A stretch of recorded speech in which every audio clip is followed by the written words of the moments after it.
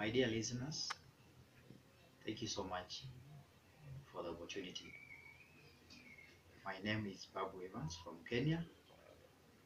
I would like to give some kind of a, a short story that I want you to listen keenly and get a lesson to the same.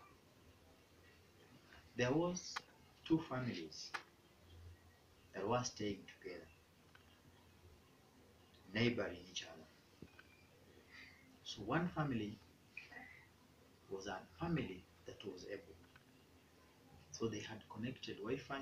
As you know, 21st century, it is one of the needs in the family or in the home. The other one, they didn't have a Wi-Fi. But fortunately or unfortunately, the other one was able to access the password for the internet or for the Wi-Fi on the other family. So every day they used to use the Wi-Fi, but without the knowledge of the owner. So it went on and on and on. But because the other family where they didn't have the Wi-Fi, they were Christians. He felt one day that what he was doing was bad. So one evening, when the man to the family that was having Wi-Fi came in, the neighbor discovered that he had come in. So he decided to write a message. And he wrote this message in Swahili. And this is how the message was. Jambo jirani, naomba msamaha sana, maana kila siku ulipokuwa ukiondoka nimekuwa nikitumia wifi yako. Kwa hivyo naomba unisamehe kwa kutumia wifi yako kila siku bila kukujuza. So the message went.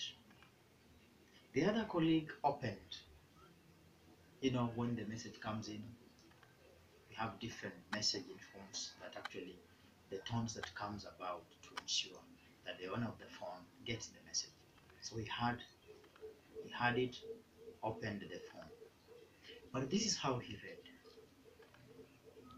The translation of that message in English is that I'm sorry, my friend.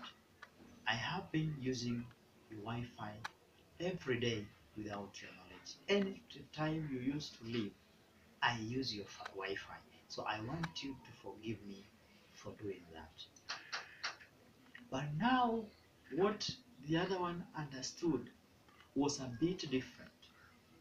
He understood that pole rafiki yangu, nimekuwa nikitumia wife wako as the Sheng puts it, kila unapoondoka.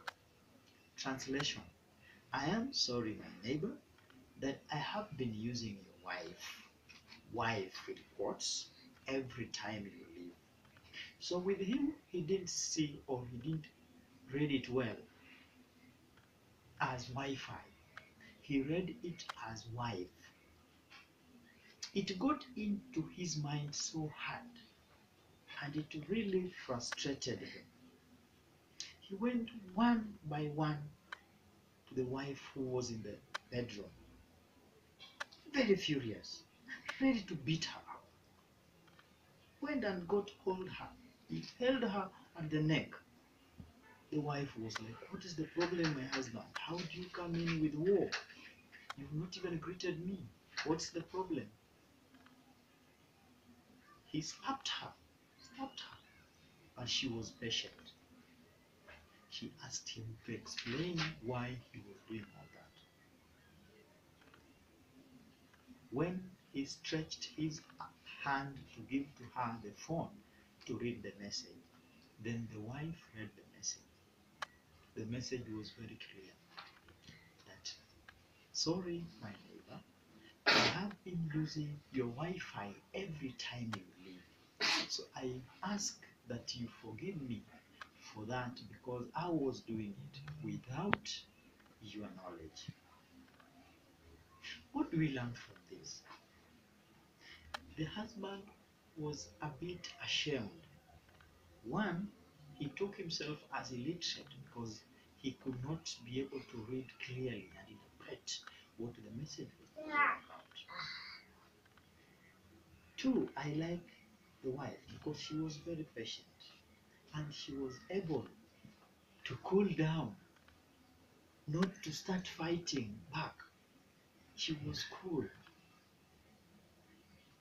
What do we learn from this? One, patience in marriage. Two, taking time before you make a decision. Three, once you love, you have loved. So trust each one. For us to sum up, generally, trust. Many times, even messages come that are not even related what you think it is.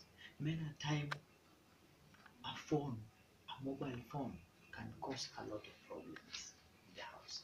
But love, patience, understanding stands out for the marriages that are God given. Ensure that you bound and unfold, cover up your marriage with the trust in the Lord, trust in each other, patience. Have patience, have patience with each other, and everything will be okay you. This is Babu Evans from Kenya. Thank you so much. God bless you all.